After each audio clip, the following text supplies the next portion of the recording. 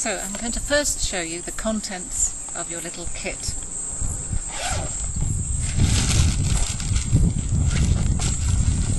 The kit comes in a bag like this. You can open it just by tearing it. And inside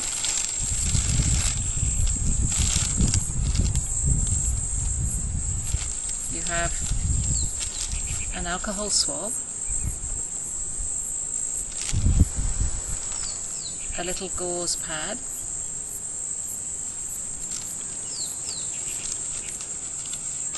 the lancet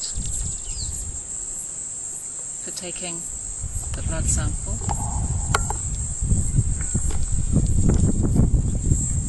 the card that you're going to put the blood samples onto, and a pair of gloves.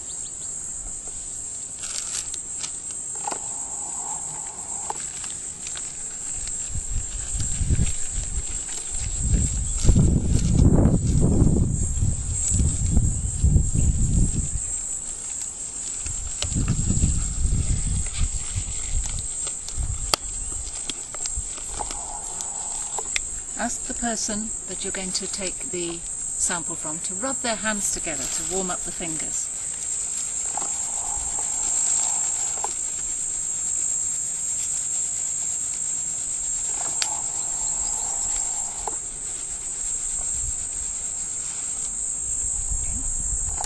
And clean the finger using the alcohol swab. Now, for this you just rotate this slightly to take off the yellow end and then this is ready to use. You press it firmly against the finger and then click. And now we're going to put the blood onto the card.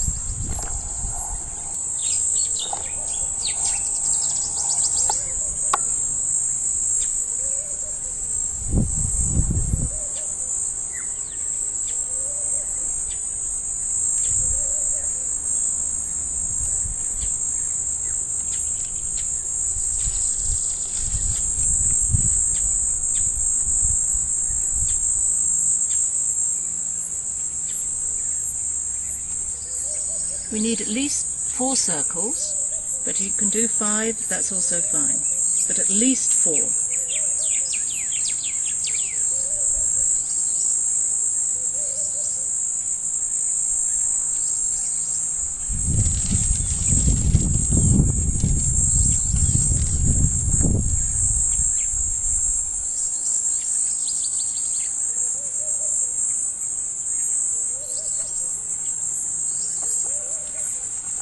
Then you give the person the gauze swab to press on with.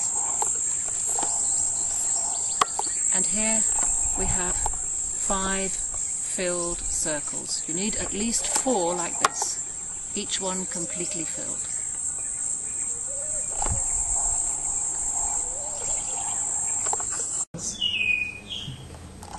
After filling the circles, you can then clip the card onto the Bob Bhopal book